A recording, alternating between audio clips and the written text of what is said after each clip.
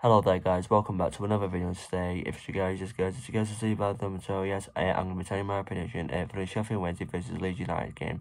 So I'm going to try uh, with the prediction. So yeah, my prediction uh, for the Sheffield Wednesday versus Leeds United game, I think it's going to be Sheffield Wednesday 2, Leeds United 2.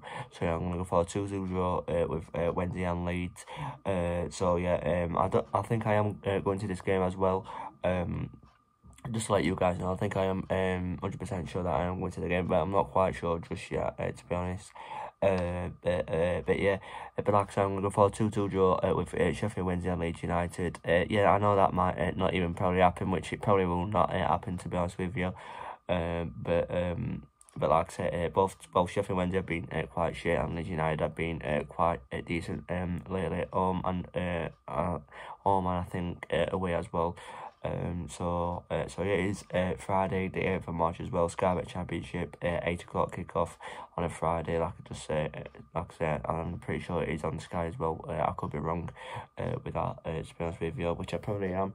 Uh, but, um, uh, but but yeah, like I said, we'll have to see uh, how we do obviously uh, against Leeds uh, because uh, we always well we don't always struggle against Leeds, just that probably that way better than well not well uh, well they're not better than Leeds uh, but um but just forget that I just said that actually so uh so yeah but like I said um we'll see uh, obviously we'll have to see how we do uh on Friday against Leeds and stuff like that and see obviously if we can uh, pick up a point uh, if we can pick up no points or if we can pick up at least a point or even three points would uh, be better because obviously like I say three points would uh, obviously be better for us um for for our fight for survival but um, but like I said, I don't think uh, it'll happen. But like I said, we'll have to just see uh, how we do against Leeds and stuff like that.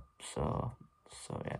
But anyway, guys, uh, yeah, I'm gonna be uh, ending the video uh, here anyway. So yeah, thanks for watching the video. Uh, anyway, though, guys, don't forget to leave a like and subscribe, and yes, guys, I'll see you in the next video. Peace.